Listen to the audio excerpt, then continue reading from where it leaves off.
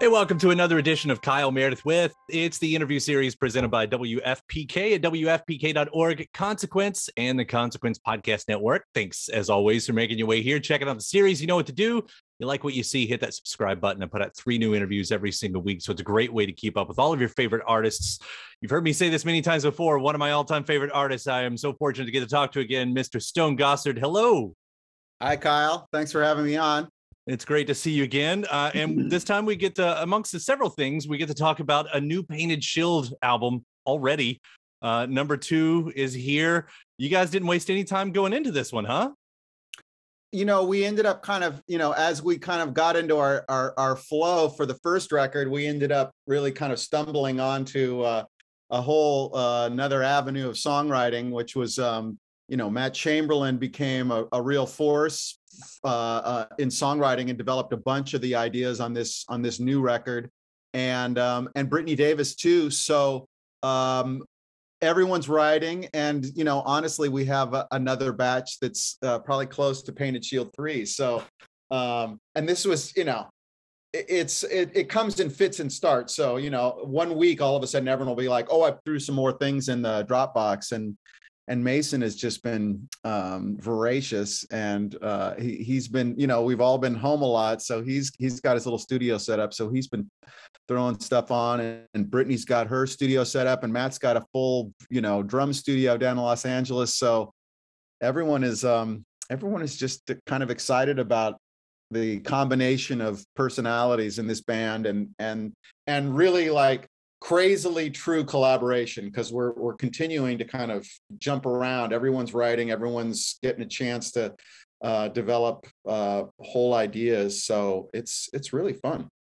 It's really fun to watch too. I mean, you know, take you for instance, being in a band for 30 years. It's not per se that a new album isn't exciting. I'm I'm sure it is to a, a certain degree, but but this really seems like you know the bunch of kids who got together and now they've created a band and, and now they get to do all this music again. Like uh, that's that's got to be something i don't know it's just got to obviously got to be something fun to get you know further into your career and still be able to find that feeling.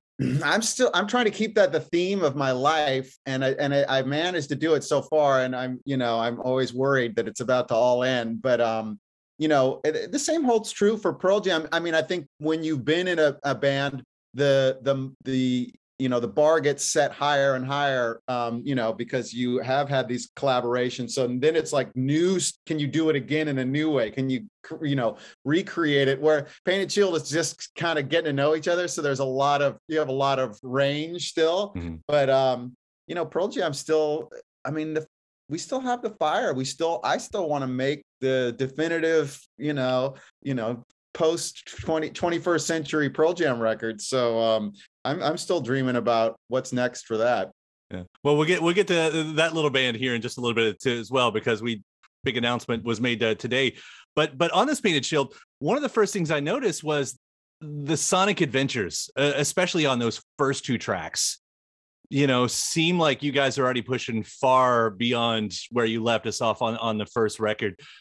Um where like maybe that's what you're talking about with like Matt Chamberlain and all that stuff exactly. but where are you coming from with these riffs and everything these sounds? Where where where did these just come from? That that's that's literally from Matt Chamberlain. Um, he's he's developing um, ideas like a synth a synth bass part and and some drums over it and he'll just send us this track and and here's the thing about Matt he's you know he's such a sought after session guy such a incredibly great feel. I mean he he can you know come in and learn you know whole set lists of material and you know in a, in the hour it takes to fly to wherever you are. So he's he's one of those consummate professionals but but really he writes like a songwriter. And and when he plays when he when he gets a uh, a little synth part and he and he puts drums on it he creates these very song-like patterns where it, has this tension and release. It has these sort of sections. It it it it builds. It has an arc to it. And uh, he's an incredible songwriter. And I think that we're so lucky that we're able to uh, kind of get in on the ground floor of Matt's, you know, sort of explosion into into being a writer, or, or, or really, I mean, he has been writing for a while, but really to to um, reap the benefits of all the work that he's put in. Um, so um, we're going to keep following that, but a lot of that atmospheric stuff and the way the drums sound and kind of all of that sort of space, that's that's really him kind of developing it. And then um, you sort of Mason kind of overlaying this sort of storytelling aspect of it and the and the melodies over the top, and then you know really giving tons of room to Brittany and myself. I mean, I think Brittany harmonizes with Mason almost on everything. So it's really their voices together now that's kind of becoming this kind of thing.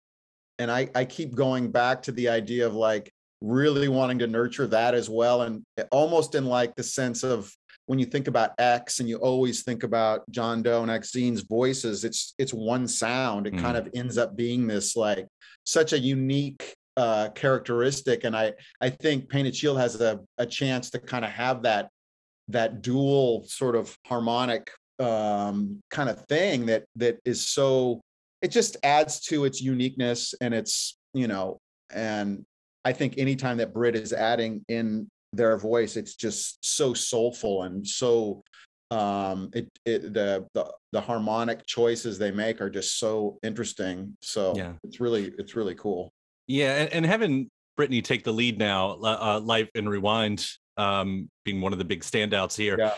It like I wonder like how much does that change the idea of what Painted Shield gets to be now? Because in, when you think of that traditional sense, the way we were introduced to Painted Shield, of course, was just Mason, you know, yeah. as the as the front yeah. person there. But now, I guess it does get to become or do you see both of them as the the, the lead vocalist? Totally. Do you start taking a, a turn as a lead in the future? Like, how does this work? You know it's it they are both real singers and you know i think that they come from different places and they ha- both have really strong um, uh, elements that they're bringing to it. But i think we're in that phase right now. It's this it's this sort of adage of uh, how many balls can you keep in the air at the same time without you know dropping them and i, I think that we're really um, I, i'm trying we're i think as a band we're really trying to again be open to re knowing at any point like well kind of what what do we have and like what's great instead of you know bands fall into patterns and they want to like okay well then this is my role and this is and i think that that can be really good but it but it also there's there's opportunities i think when you are um uh, when you keep uh, opening the door to new possibilities. Brit is a formidable singer and songwriter, and we'd be fools not to uh, incorporate their whole uh, thing as much as as much as they want to share with us um, into our soup because it's only going to make our soup more interesting and more you know cool. And I think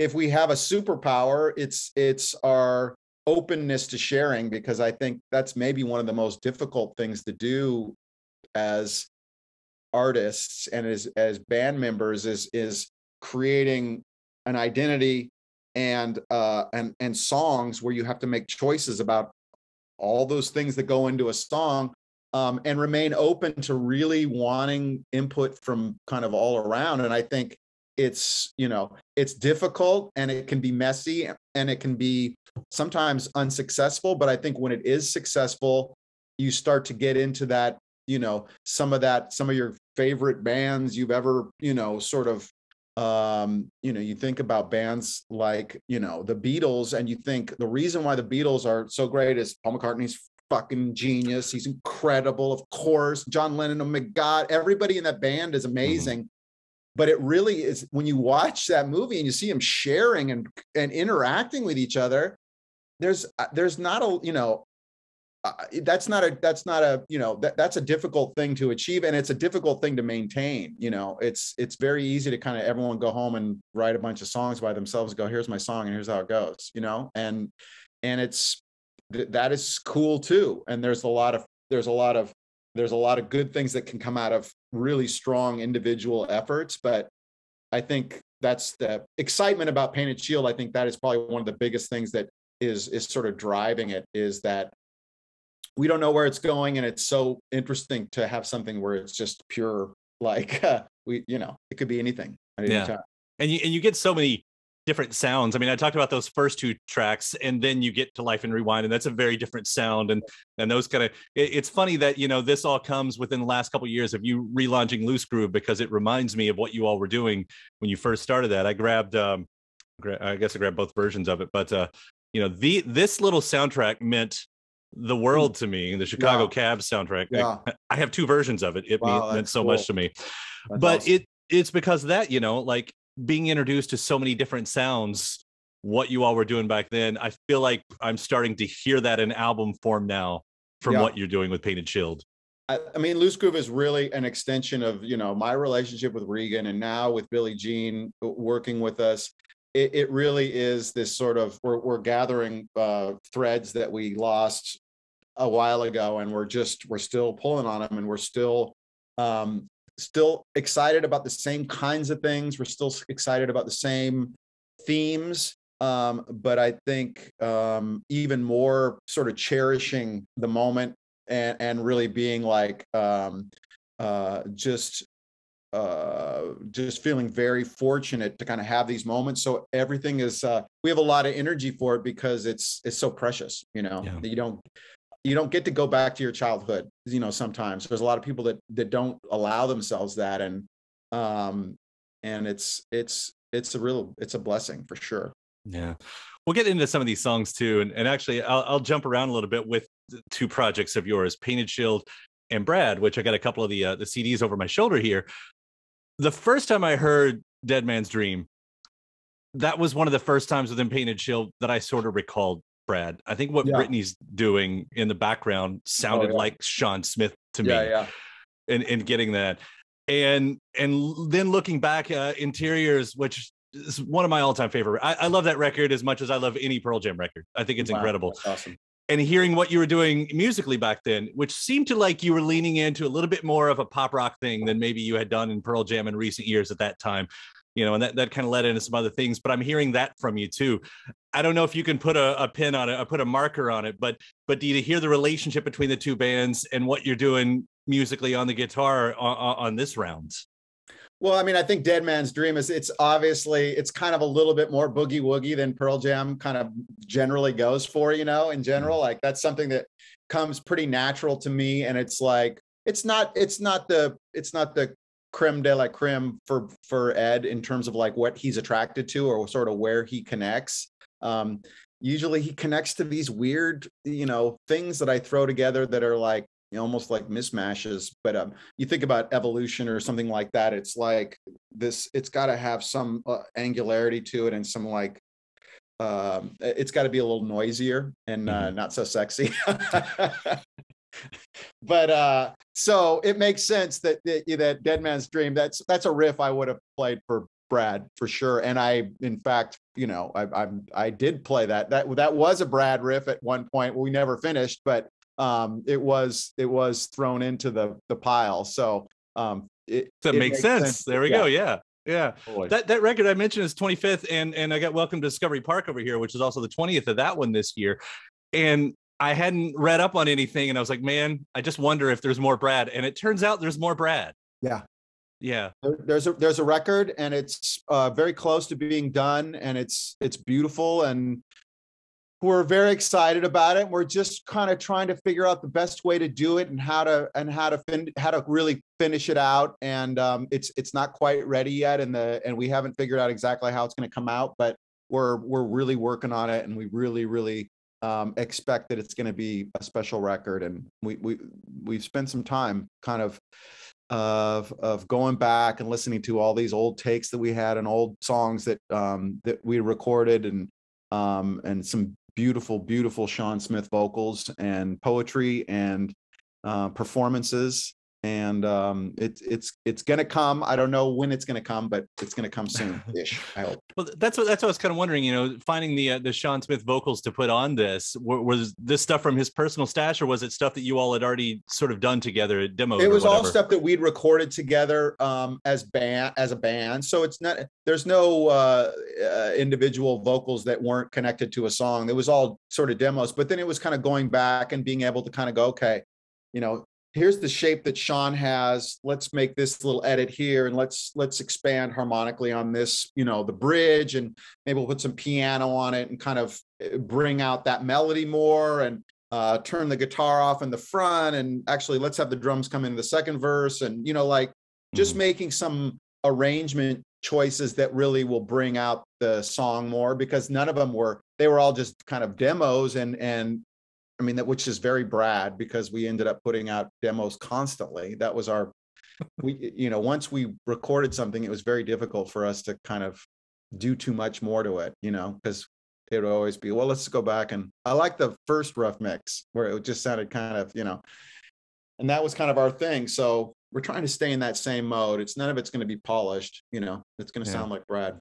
Well, such a special band, uh, and, and of course Shawn's voice. Uh, I don't have to be the millionth person to say it, but was such an amazing voice on top of that. So I'm quite excited yeah. about hearing hearing what's the, what's there on that. Yeah, thank you. Um, and then so we get back to this one, uh, back into Painted Shield, and I'm, I'm, digging into these songs. One of the tracks, Beyond Dead Man's Dream, had made it out last year, I think, called Fourth of July. If I remember, that one was kind of released a, a yep. little bit early, and suddenly here we are, and that there's here's a track that's found yeah. a different level. Yeah. Is that hitting you all in the same way? Because with what's happening over on the other side of the world, I'm listening to Fourth of July, going, "Oh wow," you know. Uh, you know, I hadn't I hadn't really listened to Fourth of July in a while, but it, it, in regard, I mean, I'm just I just don't I, the level of anxiety and the level of of sort of uh, upheaval and um, insanity that you know the world is kind of going through right now is just uh, it just feels like relentless and i'm just so i'm so i'm honestly very worried and very sad about so much of this stuff. So yeah i mean fuck, man.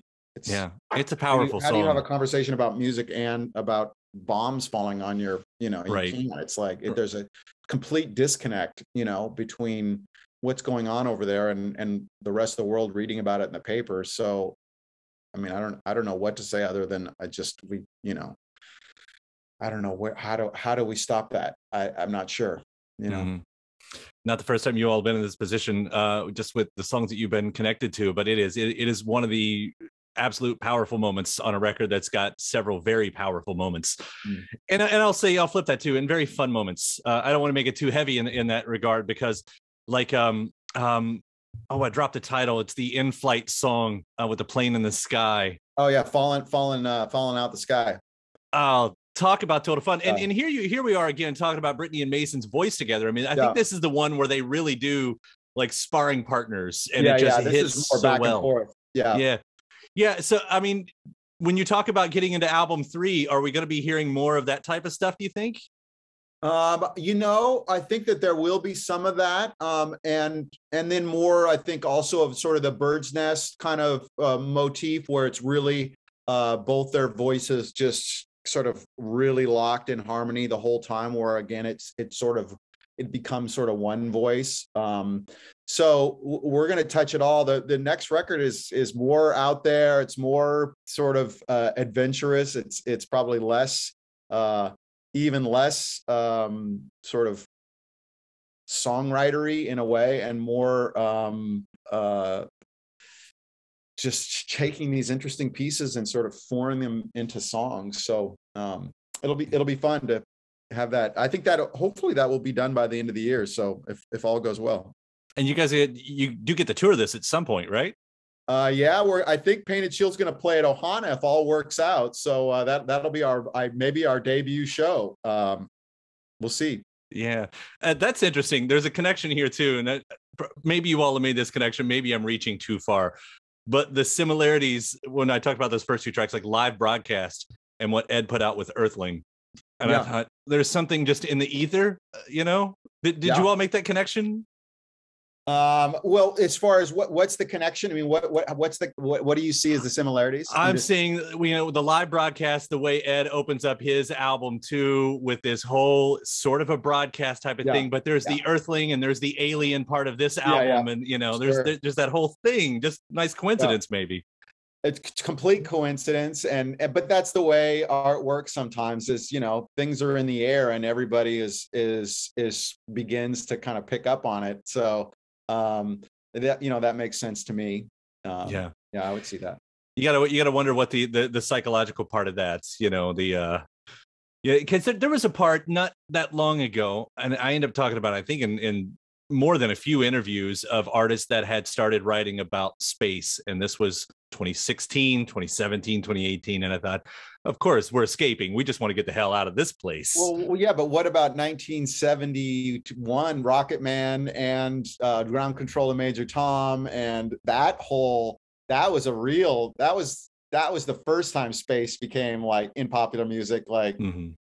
You know David for all the Bowie kids who wanted to grow Elton up being John, maybe Elton John was first I can't I, I can't remember which one came out first uh, but they were pretty close together yeah Uh, elton i think came first because that's why they rushed bowie's outs as a single to kind of or yeah i might be wrong about that But I mean, I Uh, wonder when Starman was. I mean, so there's some references in the Spiders from Mars. So, but you know, Bowie's Bowie was early on that, and I don't remember Frank Sinatra ever singing about going in outer space.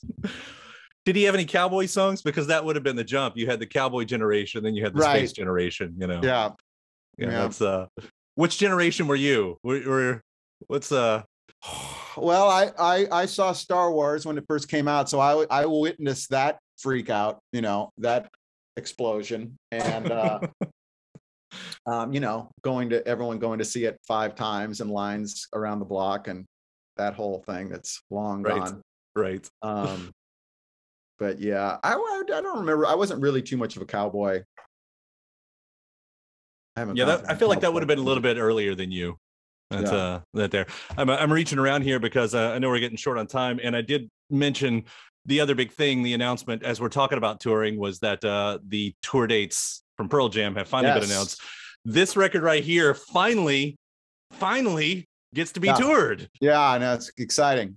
Two and which years means after- I've got to go back and figure out how to play all those songs again for the third time. You know, because we learned them all and we're kind of ready to go in 2019, or you know, and then stopped, and then and then we played some shows, just a few, and then I learned them. We learned them all again, and then you know that when you're old, it all goes out the window. So next, uh starting next week, I'm I'm starting to figure out how to play Pearl Jam songs again, which I'm so excited. I mean, I'm just it's been so long. I just, you know, I love Yeah. I love touring with Pearl Jam and for us to be actually on the road again and playing some consistent shows and kind of just kind of getting back into it. It's like I didn't know that, you know, I mean, I hope it all still happens. I didn't know that who knows what's going to happen, you know. It's it's a we're going to take it one day at a time, but I'm I'm so excited that we are moving ahead. So, yeah um, yeah i saw my first shows which two of them were stadium shows i saw tool and billie eilish this past week oh wow. back to back sold out shows and to be in that room that you know is a KFC Yum Center here in, in Louisville but to be in that room and just have 20,000 people you know it's that's Yeah. a feeling that you you don't think you've forgotten Yeah. until you feel it Yeah, yeah. Oh my God, what great shows. That's cool. yeah nice uh different different crowds but Yeah, uh, but course, nice back to back stuff right there but you know also what a rela- uh, interesting relationship to an album that must have given you so far to have you know had gigaton out there now for a couple years and you know for for a band like you all these songs come to life on the stage that's where Yeah, you start totally. changing you know Yeah, so yeah. you know what what is that like I mean, it's going to be great. I'm so proud of that record. I, I just really loved that process of making that record and how it ended up becoming what it what it was. I think it's one of our special records and I'm not worried about it, you know, in terms of like people ask, you know, are you sad that you didn't get, you know, it didn't get the shot or whatever. It's like it, with Pearl Jam, it doesn't matter. All those songs are in the catalog. We're going to play them and and if if if people really love a song they're gonna we're gonna know and we're gonna play it for you and you know um so i i'm just the fact that we've got so many songs and so many ed has so many stories and so many lyrics that people just connect with and that you know i get to be in a band that you know kind of helps to animate that you know like we get to you know hit riffs and play parts and and and and sort of drive the energy of that you know of a room and and create something that we've all worked together for so long to make. It's just it's incredible it's like such a it's a miracle, you know. Yeah. I'll say the one thing that I miss that uh, with Gigaton, I think maybe even with Lightning Bolt is, and this is a the culture across the board, um, is the lack of B sides these days. I know there's Yeah. not the same reason to put those out. Are there B sides still? Like Yeah. I'm thinking, like it's now been like 20 years since you guys put out Lost Dogs. Could there be a, another Lost Dogs in the works at some point?